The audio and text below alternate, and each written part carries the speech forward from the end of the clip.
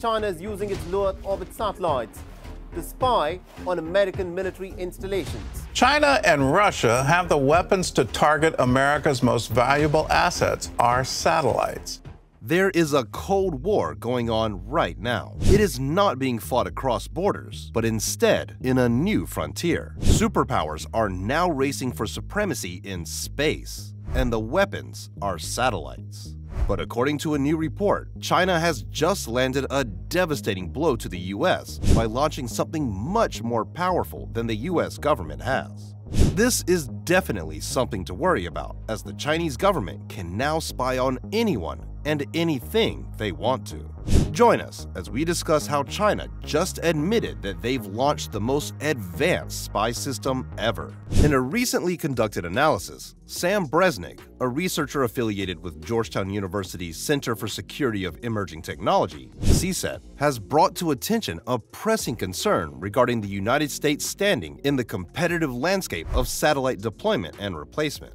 Bresnick's observations show that a formidable adversary has already gained a notable advantage in the ongoing race to swiftly launch and replace satellites, which could potentially have significant implications for global space dominance.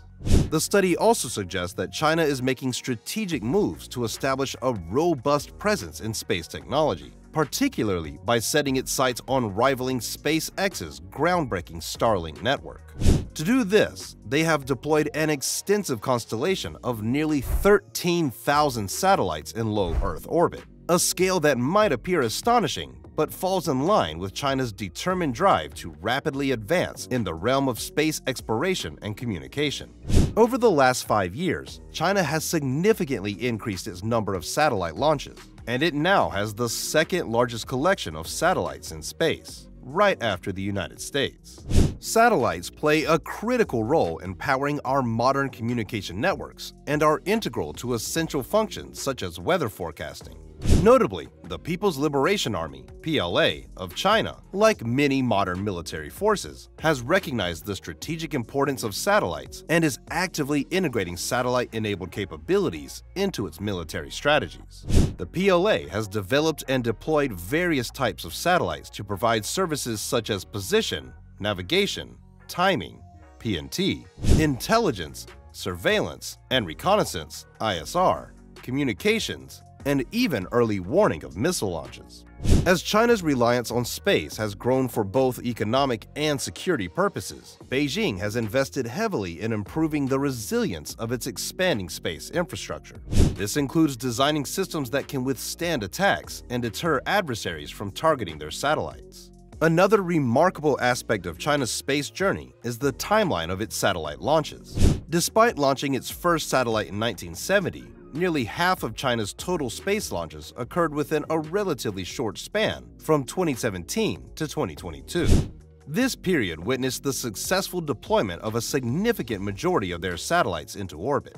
In fact, a senior official from the Space Force recently highlighted that China has nearly doubled its total satellite count over the course of just the past three to four years.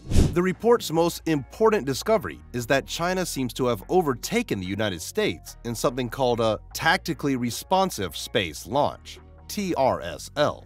TRSL is the ability to launch satellites into orbit in a very short time, in order to replace any satellites that might have been damaged or destroyed by accident or by hostile actions. Most space launches require a lot of planning and preparation, which can take several months or even years. However, a responsive launch can be done within a few days of receiving the order and can even be carried out during a conflict situation.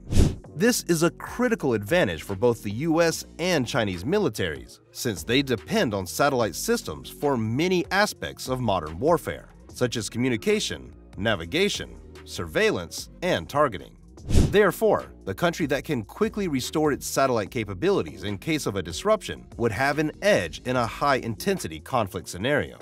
Even though the US military recognizes the importance of having better capabilities for quickly replacing satellites, the US space industry, which includes both private and public sectors, has mainly focused on other things. They have traditionally cared more about how much stuff, payload, a rocket can carry, how reliable it is, and how efficiently it can launch multiple satellites at once. This strategy led to the creation of big rockets that use liquid fuel. This approach allowed the United States to have a lot of satellites in space, which is a good thing.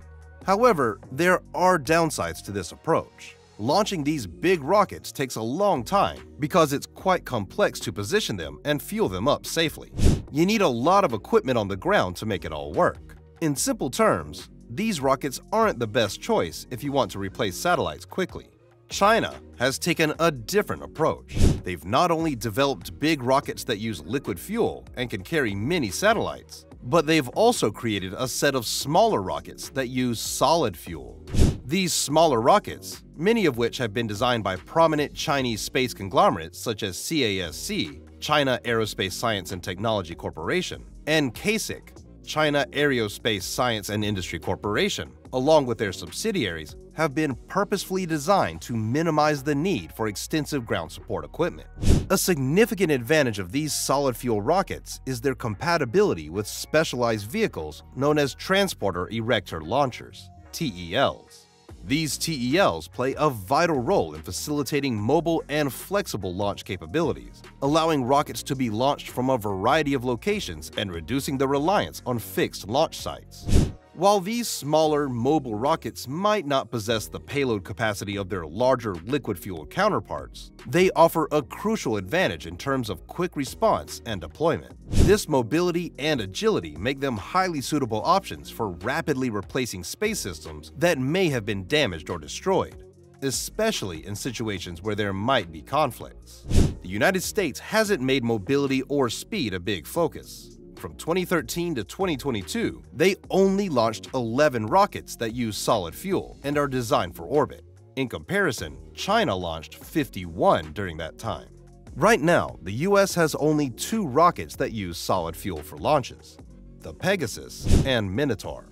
Out of these, the Pegasus is special because it's launched from an airplane, which makes it more mobile. In June 2021, the U.S. Space Force used a Pegasus XL rocket launched from an aircraft just 21 days after deciding to do it. This was an important step toward being able to quickly replace satellites. This year, the Space Force is planning to do something even harder. They want to launch a rocket that uses liquid fuel within just 24 hours of deciding to do it. This is a tough challenge because it takes a lot of work to get the rocket ready, fill it up with fuel, and make sure its engines are all set for launch. The United States should be cautious because China has the potential to easily spy on not only the US, but any country worldwide. Even though a major conflict is not in the best interest of any country, it is important for the US to be ready for such a risk. This means developing a reliable TRSL capability. China seems to rely on mobile, solid fuel rockets for this, but the US doesn't necessarily have to copy this. Instead, the US could create a plan to have a bunch of satellites ready to launch quickly. They could also team up with commercial space companies to make rockets that work well for fast launches. Even though most rockets that use liquid fuel aren't made for quick launches, both the government and private companies probably want to figure out how to launch faster. Lastly, the US could invest in making the rockets that use solid fuel better so they can do what's needed for TRSL. While the United States currently holds the position of having the most advanced and comprehensive space capabilities globally, it would be unwise to assume that it can swiftly restore its critical satellite systems during times of conflict. Despite the relatively low probability of necessitating a TRSL capability, it's crucial to recognize that the scenarios where such a capability becomes vital are of the utmost significance. The United States boasts an expansive and sophisticated space infrastructure, allowing it to conduct a wide range of essential activities from communication to navigation and reconnaissance.